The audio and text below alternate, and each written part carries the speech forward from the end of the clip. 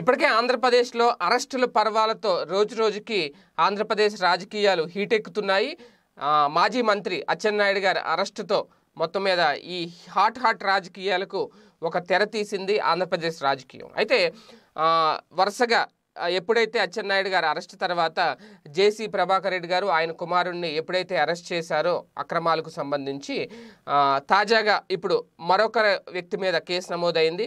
మరొక తెలుగుదేశం పార్టీకి చెందిన మాజీ మంత్రి ఎవరైతే ఉన్నారో అయ్యన్న పాత్రుడి మీద తాజాగా కేసు నమోదు చేశారు. అయితే పలు సెక్షన్ల కింద ఈయన మీద కేసు నమోదు చేయడం జరిగింది. నూట ఎనభై ఎనిమిది నూట అరవై తొమ్మిది అలాగే రెండు వందల డెబ్బై ఐపీసీ సెక్షన్ల కింద అంటే లాక్డౌన్ నిబంధనలు ఉల్లంఘించారు అంటూ అయ్యన్న పాత్రుడు గారి మీద కేసు నమోదు చేసింది. ప్రస్తుతం అక్కడ స్థానిక పోలీసులు కేసు నమోదు చేశారు. ఈ డీటెయిల్స్ ఏంటని చూసుకుంటే కొద్ది రోజుల క్రితం నర్సీపట్నం మున్సిపల్ ఆఫీస్ దగ్గర ఒక నిరసన వ్యక్తం చేశారు అయ్యన్న పాత్రుడు గారు. సో ఇప్పుడు అసలే అసెంబ్లీ సమావేశాలు జరుగుతున్న నేపథ్యంలో ముందుగా ఈయన అరెస్ట్ చేయడం అనేది నిజంగా ఒక సంచలనానికి తెరతీసినట్లయింది. ఎందుకంటే ఒక పక్క ఇప్పటికే ఏ నేతని ఎప్పుడు అరెస్ట్ చేస్తారు? ఎవరు నోటీసులు అందుకుంటారు?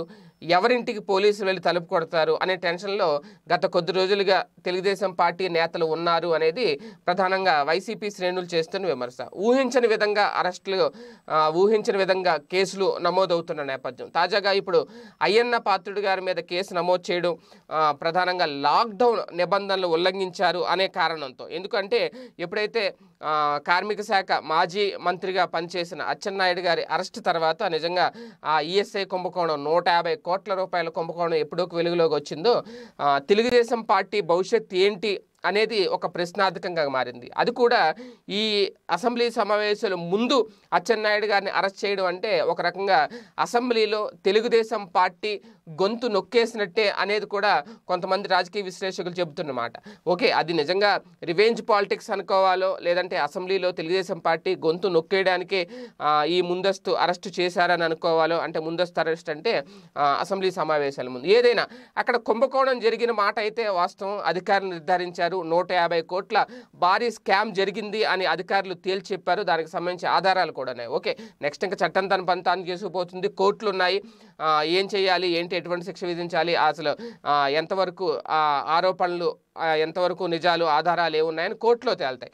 కాకపోతే ఈ లోపల ఎప్పుడైతే అరెస్టులు చేశారో ఒక ప్రకంపన అయితే వచ్చింది తెలుగుదేశం పార్టీలో. తర్వాత వెంటనే జేసీ ప్రభాకర్ రెడ్డి గారు ఆయన కుమారుడు అరెస్టు. ఇప్పుడు మళ్ళీ తాజాగా మాజీ మంత్రి అయ్యన్న పాత్రుడు గారి మీద కేసు నమోదైంది. లాక్డౌన్ నిబంధన నిబంధనలు ఉల్లంఘించారు అని చెప్పి సో ఇప్పుడు దీనికి సంబంధించి ఒక చర్చ అయితే నడుస్తోంది. తెలుగుదేశం పార్టీలో నేతలు తెలుగు తమ్ముళ్ళు ఏం చేయాలి అనేది. ఎందుకంటే ఇప్పటికే అధికార పక్షం ప్రతిపక్షం కూడా నువ్వా నేనా అంటూ కయ్యానికి కాలు దూవుతున్న సమయంలో ఎవరు ఏ ఒక్కరూ కూడా వెనక్కి తగ్గట్లేదు. అలాగని చెప్పి ప్రతిపక్షం ఇంతకు మించి అగ్రెసివ్గా చేయడానికి ఏం లేదు. అక్కడ అన్ని ఆధారాలు దొరుకుతున్నాయి. ఎవరు ఏం చేశారు అనే ఆధారాలు నిరూపితం అయిన తర్వాత తర్వాత అన్ని ఆధారాలతో అరెస్టులు చేస్తున్నారు కోర్టులో ప్రొడ్యూస్ చేస్తున్నారు. సో ఇటువంటి సమయంలో ఈ కేసులు నమోదు చేయడం సీనియర్ నాయకుల మీద ప్రధానంగా. అంటే సీనియర్ నాయకులనే టార్గెట్ చేస్తుంది వైఎస్ఆర్సీపీ అనే ప్రచారం కూడా జరుగుతుంది. ఇటువంటి నేపథ్యంలో భవిష్యత్తులో ఏం జరగబోతోంది ఏంటి? ప్రస్తుతం అసెంబ్లీ సమావేశాలు జరుగుతున్న నేపథ్యంలో ఈ సమావేశాలు పూర్తయిన తర్వాత ఇంకా ఎటువంటి పరిణామాలు ఉంటాయి అనేది కూడా వేచి చూడాల్సిన అంశం.